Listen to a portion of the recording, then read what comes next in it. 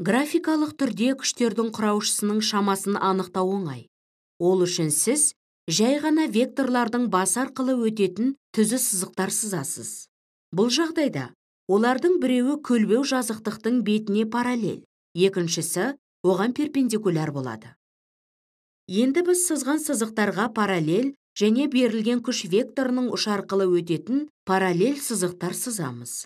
Осылайша біз қабырғалары құраушы вектор және диагоналі тең әсерлі күш векторы болатын параллелограммды құраймыз. Келесі кезекте сізге жай ғана керек векторлардың ұштарын белгілеу керек. Берілген векторды осындай тәсілмен әртүрлі құраушыға жіктеуге болады.